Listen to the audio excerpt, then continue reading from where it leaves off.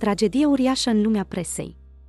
După ce Sorina Popa, director al Direcției de Cultură, Muzeu și Bibliotecă în cadrul primăriei Cernavodă și fost ziaristă la TV Neptun, a murit.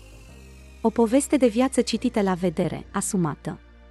A venit, a jucat rolul vieții ei și a plecat a scris Alfa Media. După trista veste, fosta jurnalistă a fost diagnosticată cu o boală gravă, neoplasm.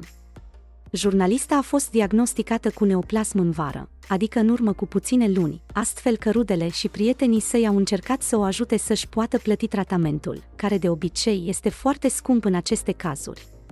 Din păcate, fosta jurnalistă a pierdut lupta cu boala.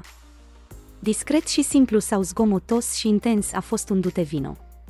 Vorbim despre Sorina Popa la timpul trecut, perfect simplu, perfect compus și poate imperfect. O poveste de viață citită la vedere, asumată. A venit, a jucat rolul vieții ei și a plecat. Discret. În drum spre cer să-ți întinzi în sfârșit aripile. Dumnezeu să te odihnească în pace.